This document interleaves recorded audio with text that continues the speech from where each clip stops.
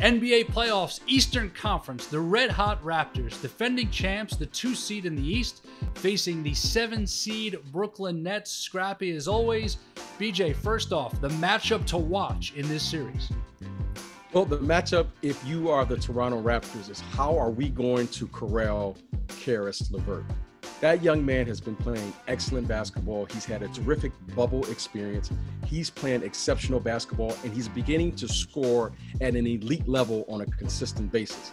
I think Toronto will win this series in five games just due to their overall better talent than the Brooklyn Nets. However, give the Brooklyn Nets credit for battling, figuring it out, and doing all of this on the fly. But I think the Toronto Raptors, in the end, is just too much. They have too much talent, too much depth, and too much experience. I expect them to advance and move to the second round. The Raptors will close this out in five, and they'll be waiting for the winner of the Celtics Sixers series in the East.